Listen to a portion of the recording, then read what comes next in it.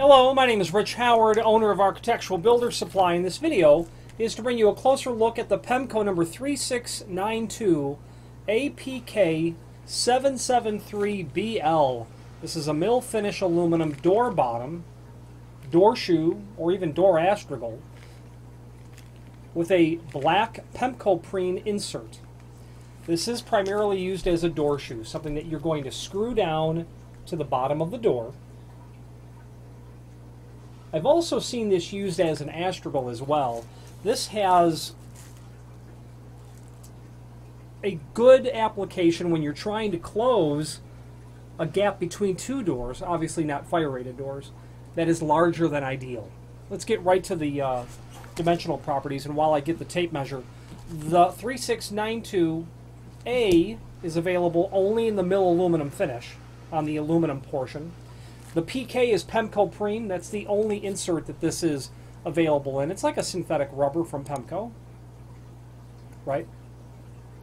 You can select from either BL for black or GR for gray. This again is black.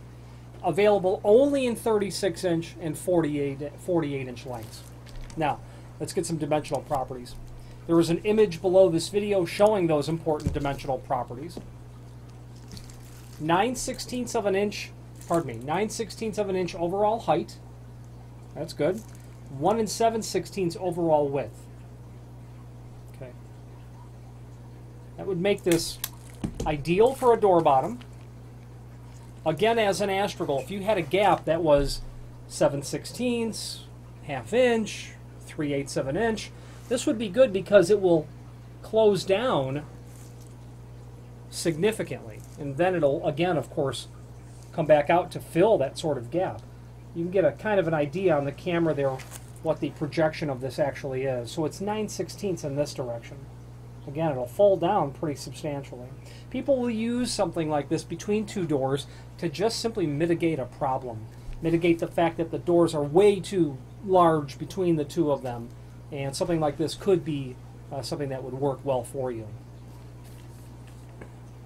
Otherwise, it's used to seal the area under a door with minimal effect on the appearance of the face of the door. You don't really see this unless you get your head down on the floor and look. Sealing the gap under the door. They say that the channel is punched with elongated slots for easy adjustment. Okay, let's go over that. First of all, again, available only in 3 foot or 4 foot lengths. You'll have to cut this to length. The slotted hole is incredibly useful at getting that tailored under the door exactly where you want it to be positioned. Or, as an astragal, to get it exactly positioned between the two doors as well. You know, not every door is completely flat. Not every frame is level. Not every sill is level. Okay? Not every jamb is without some sort of twist at the bottom. So those slotted holes will really help compensate for that final sort of adjustment that you can uh, happen uh, on that. Speaking of those holes, screws are included in the complementary finish. I have had some people uh, get real fancy with this. Here's what I mean. You could route this into a door, especially as an astragal. You could buy from an industrial hardware supply springs that would go underneath your slotted forgive me. You could buy springs that would go underneath your slotted holes and then longer screws.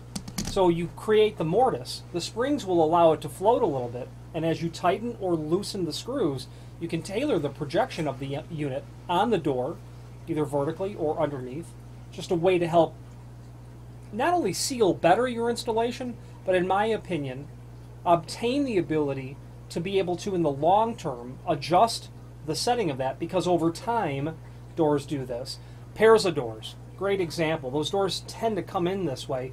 All the weight is up at the top of the door, and those are the hinges that take the majority of the load, and therefore the first hinges to wear out, allowing the, the doors to sag down. When you've got material mortised, and while the 3692 APKL 773 is not the ideal um, analogy for mortising and then adding springs to it. it. The concept is that you can tailor it over time as the door opening ages. You can get you can make your weather stripping smart, so to speak. Now, there is a link below this video to the manufacturer's page where you can pull up the uh, full line Pemko catalog. The latest version of the Pemko catalog has gotten has has become far more organized, in my opinion. They give you far more information in one consolidated sort of setting. You'll be able to drill down to the exact part number. You'll see all the available inserts that can be ordered with it. You'll and also get the part number for the replacement insert as well. Here's a scenario. You've got this unit after 5 or 10 years, the Pemkoprene has begun to fatigue. You want to replace this only. No problem. Pull up that catalog, get the part number only, order just the lineal footage of the replacement insert, and that's it. Very simple. And I I congratulate Pemko for making it that easy because it was never until the latest version of the catalog that simple to obtain those part numbers. Uh, A, a layperson couldn't do it. You had to have access to inside documentation or contacting the factory. Uh, if you have any questions on the Pemko 3692 APKL 773 door bottom or any other Pemko product, please feel free to reach out to us. Thank you.